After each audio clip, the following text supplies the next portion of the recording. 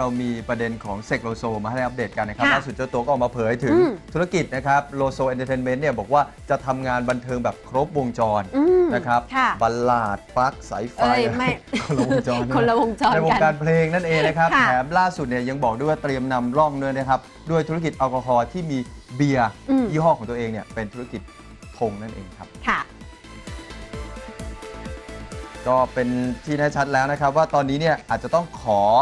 พักเรื่องรัก ขอค่ะ อัปเดตเฉพาะแต่เรื่องงานก่อนนะครับสำหรับเสกเสกสรรค์ศุขพิมายนะครับหรือว่าพี่เสกโลโซนี่แหละนะครับ ล่าสุดก็เปิดเผยกับทีมข่าวสปริงนิวส์นะครับโดยบอกว่าปีนี้เนี่ยเตรียมจะทำทัวร์คอนเสิร์ตใหญ่นะครับ 40 ปีเสกโลโซนะครับอืมรวมไปถึงค่ะการประกวด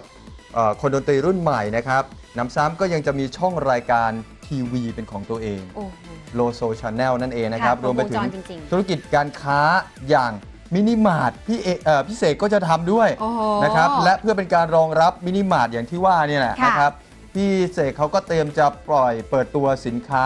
ที่เป็นเกี่ยวกับแอลกอฮอล์ ค่ะ คือเบียร์ยี่ห้อโลโซนี่แหละค่ะ ออกมาวางตลาดมาชิมลางกันด้วยนะครับอะฟังเสียงพี่เสกกันครับ เคเบิลทีวีของตัวเองจากนั้นผมก็ทัวร์คอนเสิร์ตนะครับ ต้องมีค่ายเพลงของตัวเองมี Yes Record นี่แหละ มีให้มีคุณธรรม เราเองก็เชื่อว่าเรามีเงินแล้วเรามีเงินเสร็จแล้วเราก็ต้องไปช่วยคนอื่น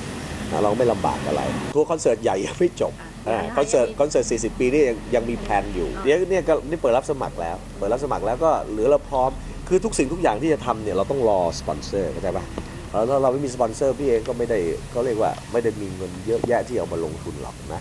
เสร็จแล้วผมก็จะทำ เบียร์ของผมที่เป็นเบียร์โลโซ แล้วก็มีเหมือนเหมือนมินิมาร์ทเหมือนแฟมิลี่มาร์ทเหมือนร้านท็อปเหมือนเซเว่นเอเลเว่นเพื่อที่จะขายสินค้าของเราเองนะแล้วก็